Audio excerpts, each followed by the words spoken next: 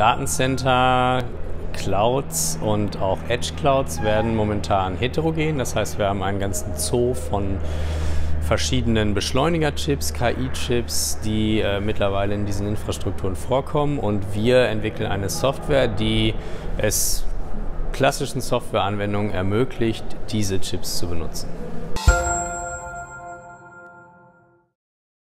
Wir sind äh, in diesem Jahr jetzt äh, relativ stark gewachsen. Wir konnten ähm, relativ viele Mitar neue Mitarbeiter mit an Bord nehmen.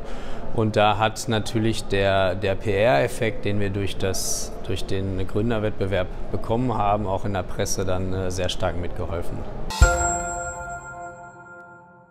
Es mangelt nicht an Konkurrenz, aber es mangelt auch ebenso wenig an ja, äh, Kunden, die innovative Ideen haben. Und unser Ansatz ist eigentlich, dass wir versuchen, äh, eine gute Mischung zwischen, zwischen Push und Pull zu haben. Das heißt, das eine ist, wir wollen, wir, wir, wir gehen in Kundenprojekte rein, wir versuchen zu verstehen, was die, was die Schwierigkeiten, was die Schmerzpunkte bei den Kunden sind, sitzen da ein Stückchen auf dem Schoß des Kunden und leiten daraus eben ja, Bedürfnisse ab, Requirements ab, die sich dann letztendlich in unserem Produktportfolio niederschlagen. Und das ist eigentlich der Ansatz, den wir seit zwei Jahren fahren, der auch sehr gut funktioniert.